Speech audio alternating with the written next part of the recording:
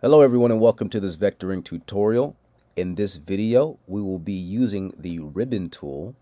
I'll be showing you how to use the ribbon tool and we're going to create the Flash logo from the DC superhero The Flash. So to get started head over to vectorink.io and launch the app online in any browser or go to the Google Play Store, download the Vector Ink app and start a new project. And once you're in the canvas, you're going to activate the pen tool. And we're going to use the pen tool to draw like the lightning bolt right here on the center of the canvas. I'm going to zoom out a little bit. If you're using a laptop on the uh, web app, you can use the Option key and the mouse wheel to zoom in or out, or use the Alt key if you're on Windows and the mouse wheel to zoom in or out. So with the pen tool selected, we're going to draw this flash lightning bolt. So I'm going to start at the top of the canvas here.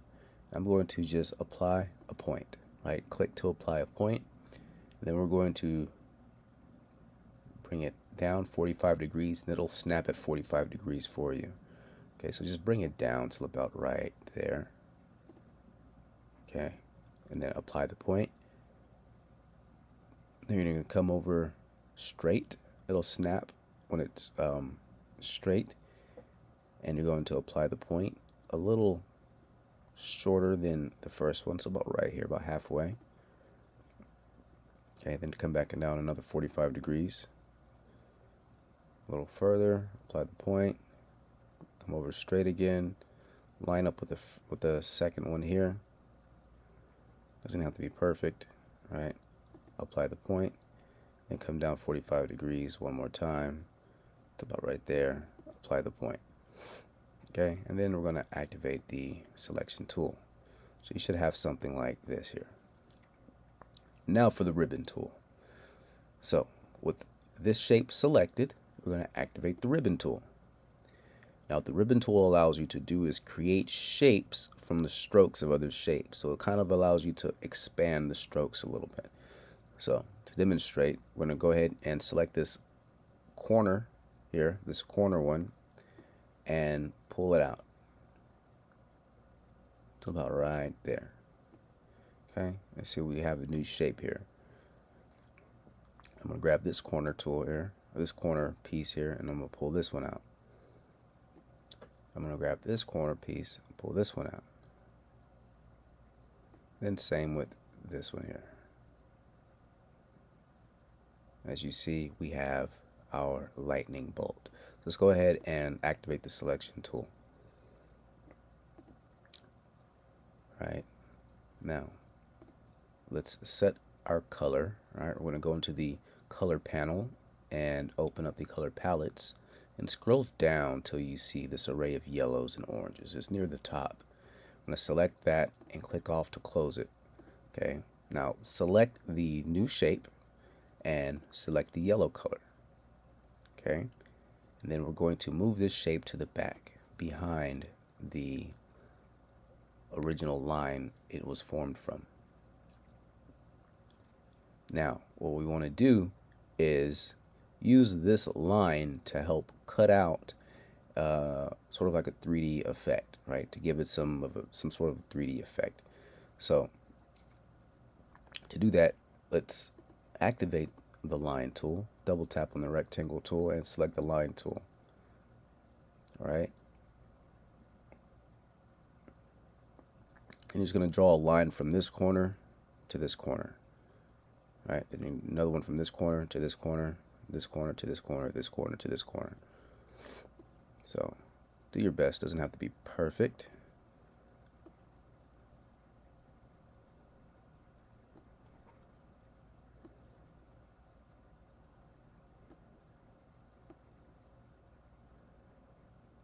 So something like that. Okay, now we're going to highlight everything. activate the path builder tool. We're going to select the darker yellow. So we're going to work with the darker yellow and the lighter orange. Okay, so we're going to select the darker yellow and cut out this portion here. this portion here, this portion here, and this one here, and lastly this one here. And we're going to select the lighter orange and we're going to apply it here and here.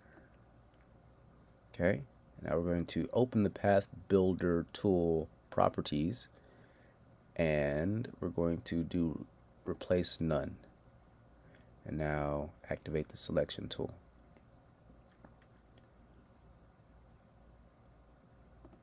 And then bring everything that is highlighted to the front. Okay, now let's get rid of these lines. So select that line, delete it, delete, delete, delete, and select the, I can't get to it. So let's open up the layers, expand the layers, and boom, there it is. And delete. All right, so cool. We have our lightning bolt. I'm to highlight this and scale it down. Um, if you tap on this top right handle, it'll turn to one handle and it allows you to scale um, on the X and Y axis together. Now we're going to add the circle around here. So double tap on the line tool, activate the circle tool. Okay, we're going to select constrain so that it constrains the um, the x and y axis of the circle. That way it scales evenly. Let's bring it down about right there. Or there. Okay. Open up the fill color panel and we're going to make that circle white. Okay, then we're going to open up the stroke panel and we're going to make the circle's stroke, the outline, this orange. So the, the second orange from the end. And then we're going to open up the stroke properties and we're going to set the stroke width to about oh, 16. Okay. Now with the circle selected, we're going to move it to the back.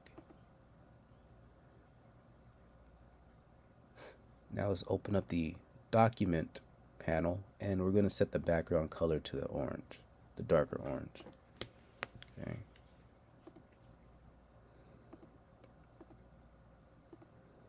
There. Use this color for the circle stroke, the uh, the orange in the middle. I think that looks better. And we're done. That's that's it. So that's how you can use the ribbon tool along with the path builder tool to add some effect to create the Flash logo. So that is it. I hope you've learned something in this tutorial about Vector Ink. Thank you for following along and goodbye.